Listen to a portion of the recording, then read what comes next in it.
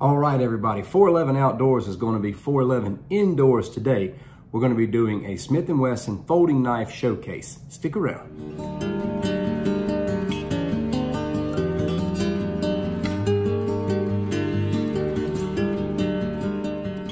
I hope you're doing well, my friend, and I hope you find this video helpful and resourceful. Let's get rolling looking at some knives. One of the things I like to do on my channel is review knives all across the spectrum. There was a time when I was primarily looking at budget blades, but now I'm looking at a little bit of everything because there's something out there for everyone. There's something out there for those who can only spend 30 or 40 bucks or less. And then there's a lot of great options out there for people who want to spend as much as they want to. I try to cover a little bit of everything on this channel. Smith & Wesson is a company that sends me a lot of blades, and I mean a lot of blades to put on display, and that's what we're going to be doing today. We're going to be looking at four folding knives, and they're all different, and they all have unique features. Let's get started looking at the first one, and it's going to be the Black Ops Magic Folder. I want to show you the packaging here. This is the Black Ops Magic Folder. Let's get it opened up. Safety first, I wanna tell you, when you open up these types of packages, be very careful. You don't know how many people have cut themselves opening up a package like this. Get you a sharp knife. I like to use my Mora for those sharp tasks. And just be careful when you open these packs up and you don't get your hand on the blade. I did that one time buying a Camillus blade from Walmart a few years ago. I got the nastiest cut right there in the parking lot. It was terrible. I couldn't even wait to get home to open up the blade. Something I want to point out first and foremost is that, you know, the specs on these folding knives from Smith & Wesson are always listed right here. You know, this one's got 4034 stainless steel. Let me open this up here for you. Look at that thing. That's a solid open up there. Man, we'll get more into this in a minute, but 4034 stainless steel, aluminum handle. This has an aluminum handle on it. It's got a very unique look and feel to it. Might get a little slick in dire situations. Nevertheless, man, that looks cool. It's got a liner lock. It's got a side safety on it, as you can see right there. That is a very unique feature. It's got a finger actuator and a magic assisted opening. You also get the dimensions right here on the back.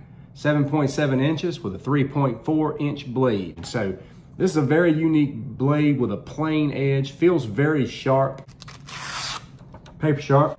Uh, tactical black, you know, as a lot of these blades are. Uh, this has just got a very, very, very solid. It's very hard to close this.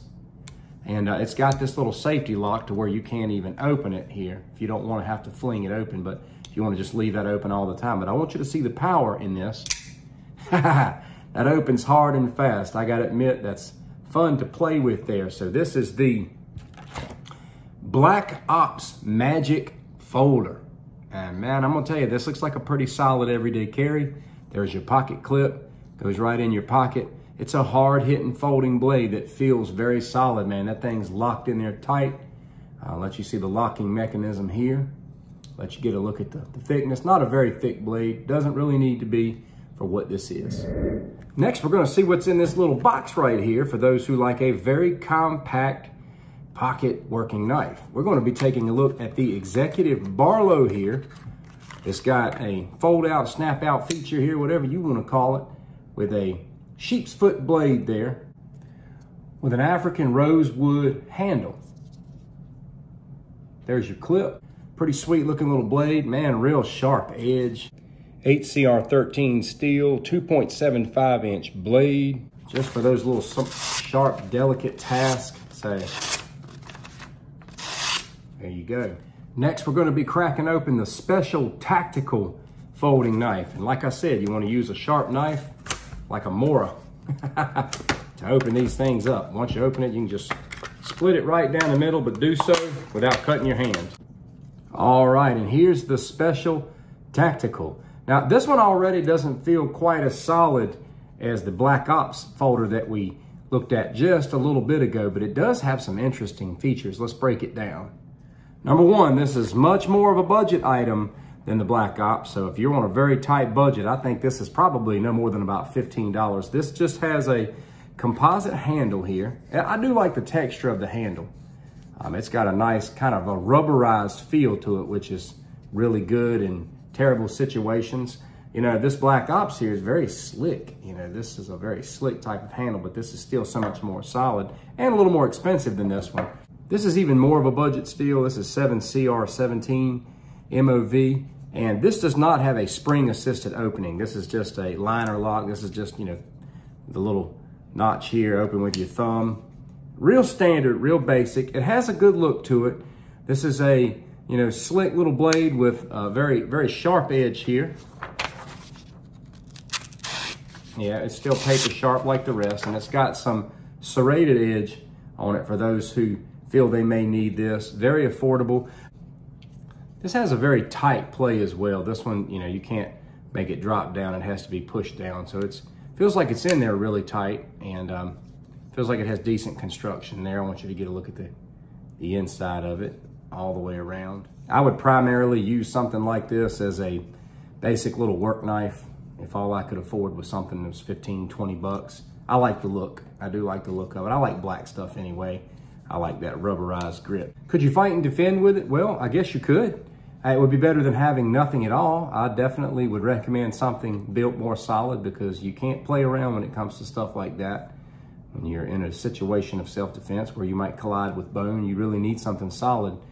Uh, nevertheless, you know, you could slice and hurt with this pretty bad. Again, better than having nothing in your hand at all, which is where most people are. So there you go, the special tactical. All right, last on the list is this bad boy right here. Now, uh, right off the bat, I don't have a name for it. I'm gonna have to do a little research to, to find the name of this. I'm big on blades having a name. I don't care if it's a cheesy name, give it a name. All right, well, here's the blade, but here's my complaint right off the bat if I'm just reviewing this right out of the box.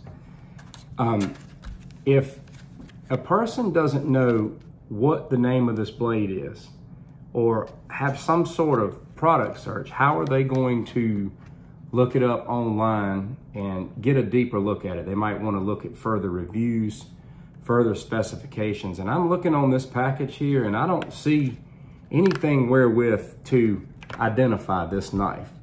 So I can't give you a whole lot of information on the construction of this, with the exception of the fact that it's a stainless steel blade with a satin finish, obviously, an ABS handle. It's got a very lightweight handle and a liner lock. This is not spring assisted. Um, it's just got the little liner lock on it. And, um, you know, feels like it's pretty solid. It's obviously very sharp. Well, let's see. Maybe it is, maybe it isn't. Yeah, it's paper sharp. It could use a little bit more of an edge.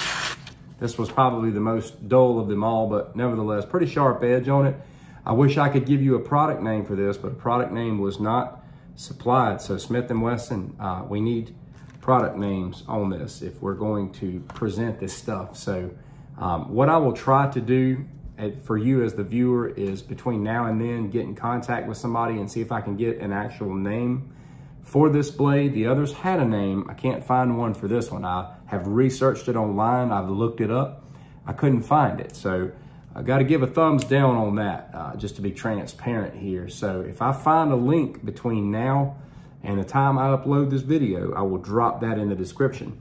That brings us to a conclusion today, my friends. Thank you so much for watching. I'd love to hear your thoughts. You know, these are budget blades for people on a budget who can't afford a very expensive folding knife. Smith & Wesson does have a lot of options, and nine times out of 10, they name their blades to where you can find them, but I was disappointed that I couldn't find a name for this because I really like the look of it. It's very lightweight. I like the feel. I like the way it feels, you know, in either grip, either position. So again, I'll try to find that information for you, but I'd love to hear your thoughts on these blades. Do you have these? What's been your experience with them? Take care.